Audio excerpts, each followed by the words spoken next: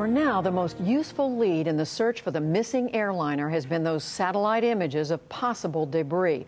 But nothing has been confirmed yet. And even as the hunt continues, people around the globe are trying to do their share to help aid in the search by utilizing technology.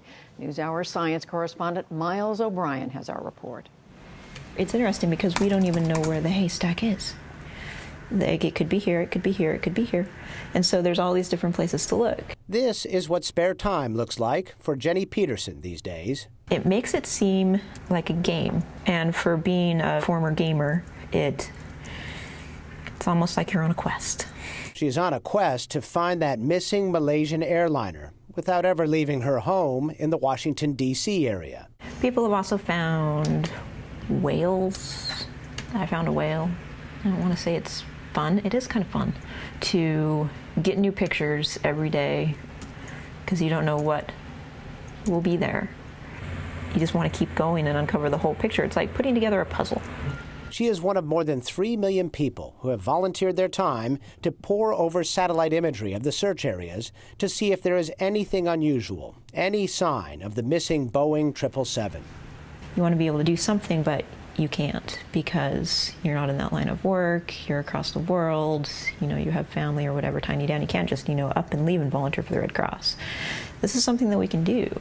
Jenny is searching on the TomNod site run by Digital Globe. This is the company that released these images of debris in the Indian Ocean that are the current focus of the search, although they were not the fruits of the crowdsourcing campaign. The Colorado company acquires and sells imagery captured by a fleet of five satellites in polar orbits. When they pass over the region, those satellites, the most powerful available outside the classified world, are now focused on the huge area where they are searching for the missing airplane. They release the images on the website as quickly as they can so the crowd can use its many hands to make light work. So far, we've received millions of tags from millions of users anything you can use satellite imagery for crowdsourcing just makes it better. Luke Barrington is Senior Manager of Geospatial Big Data at Digital Globe. He explains how the search works. If you see anything interesting, if you see something that might be evidence of the crash or of wreckage or of a life raft or of an oil slick or anything that could be useful, you simply click on it in your web browser and that tag gets recorded. And what we find is if you agree with you know, 10 or 100 other people who have all independently seen that same location in their own web browser, we start to identify these locations of consensus. And that's where the real information comes out. That's the wisdom of the crowd. That's crowdsourcing. Once the crowd agrees, the object in question is passed along to the real experts who can determine if it is something that can be eliminated or an urgent destination for search and rescue aircraft. This crowdsourced search for the Malaysian airliner is just the latest manifestation of a powerful mix of space, computer, and mobile technology coupled with social networking and the plain old human desire to help others in need. So we stop this nonsense of we wait for the government to help, right? This fire truck approach to quickly putting out the fires. Why don't we become citizen firefighters ourselves? Patrick Meier had that epiphany in the immediate wake of the Haiti earthquake of 2010. At the time working on an international affairs PhD at Tufts University, he gathered some friends together in his living room to brainstorm ways to harness the information generated through social networking in the wake of the disaster so that the humanitarian response will be more effective. He is an early and leading advocate of the power of crowdsourced mapping. Humanitarian professionals, paid professionals, cannot be everywhere at the same time. But the crowd can. The crowd is always there, and the crowd has agency, and they're going to respond a lot faster. You're getting real time information from sort of a bird's eye view angle of who's been affected, how badly, and, where. So, a lot of humanitarian organizations when you start talking to them about, hey, it's like having your own helicopter, get it a bit more about what the added value uh, might be. Even so, many humanitarian organizations were initially skeptical of Patrick and his band of enthusiastic, young, technologically savvy friends. But over time, the United Nations, the Red Cross, and other large humanitarian organizations became true believers. The UN has created something called the Digital Humanitarian Network to help capture all the urgent tweets and texts, map them, and try to connect the pleas for help with someone who can. You have this big data, quote unquote. And what we're all realizing you know humanitarians, technologists like is the overflow of information generated during disasters can be as paralyzing to humanitarian response as the as the absence of information. And they enlist the crowd to analyze the data to make sense of all of the information being collected. And the best way to visualize that is you imagine a haystack that's been put together in a square form, in a cube, right? And you basically then slice up the haystack in tiny little cubes, and every volunteer takes care of their little part of the haystack, and they all do it at the same time. That's far more, far more efficient. The Digital Humanitarian Network was last mobilized in the Philippines in the wake of Typhoon Haiyan. Maning Sambale was a volunteer with OpenStreetMap, an open source collaboration that is the Wikipedia of mapping. We've asked uh, people all over the world to trace uh, features, map, map, map features uh, using satellite imagery.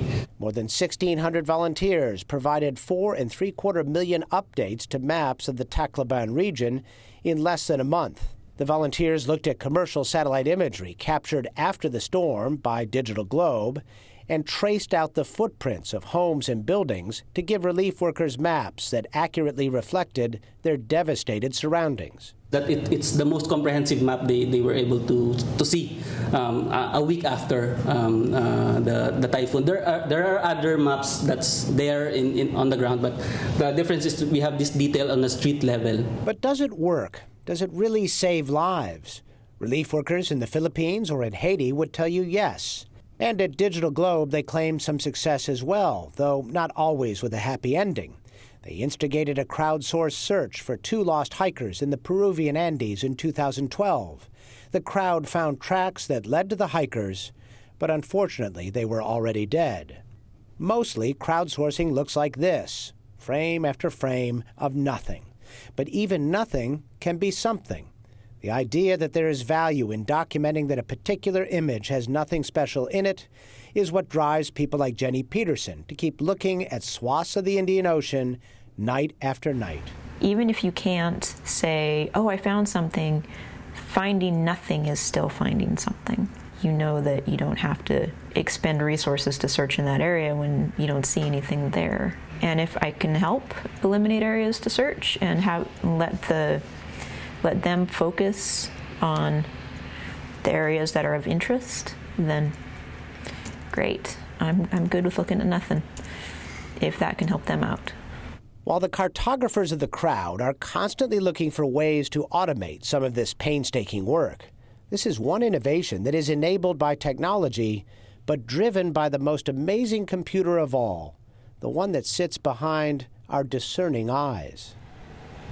And Miles joins me now. Miles, so this goes on. It is an amazing thing to think people all over the world are doing this. Yes, you can join right now if you want, Judy, and be a part of the search. What? So, so back to that search. Uh, yes, we know there's bad weather. Yes, we know it's far away from Australia where they're looking. But why is this so hard? It's it's hard because we just have a paucity of data. You know, it's hard to imagine in the 21st century that an airliner with all the electronics and all the technology we have could go missing with so little. You know, you would think at least a trail of electronic breadcrumbs would exist.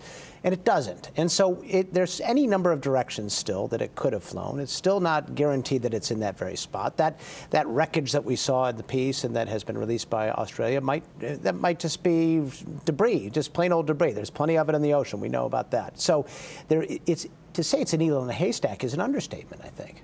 So the pings that this satellite picked up could have been from something else. It could be anything. I mean, when you think about that giant hunk of plastic out in the Pacific, that gives you an idea of the kinds of things it could be seeing. You, you've talked, Miles, about the the Malaysian air, uh, airlines decided not to invest in a in a communication system that would have sent more data back to home base. Explain what that is and why that would have made well, a difference. you know, uh, we're all familiar, of course, with the, the radio transmissions that the, the crew engages in with the air traffic control. But in addition, there's a couple other channels channels of, of communication on modern airliner. And one of them is this device called ACARS. It's just a fancy acronym for eh, kind of a almost fax machine meets email kind of thing, where it, it spits out uh, a little bit of information about the airplane on a routine basis.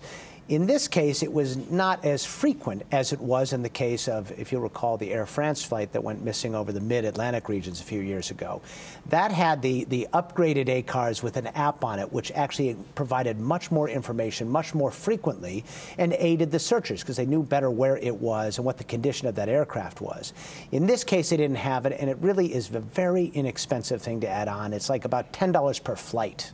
So a lot more info. We'd be we'd have a lot more information. We'd know much better where what direction that plane was in. So final analysis. Where is the greatest hope for for finding out what happened? Well, they're going to need a little bit of luck, I think. They're going to need some luck with the weather. Uh, let's hope that, frankly, that, that uh, what those satellites saw were, in fact, pieces of the aircraft, because that, that gives them something to go on. Without any debris, there's really very little chance that they'll find this. It's a big ocean and a big planet, and you just can't go in every which way trying to find uh, a potential debris pattern. So, uh, you know, let's hope for some good weather for starters. Miles O'Brien, thank you right, very much. Great to have you with us.